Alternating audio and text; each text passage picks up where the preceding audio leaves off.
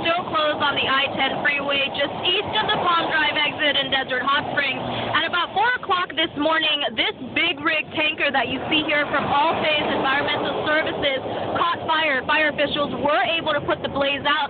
The driver says he blew a tire, which caused this gash that you see here in the tanker. 700 gallons of wastewater oil spilled out, some of it onto the roadway, but most of it down this right. Now, the company is sending out a crew to clean up the mess, but it could take several more hours before they get here. Again, CHP officials estimate this one lane closure will remain in effect until 12 o'clock noon. I'm Kimberly Chang, KPSP, Local2.com.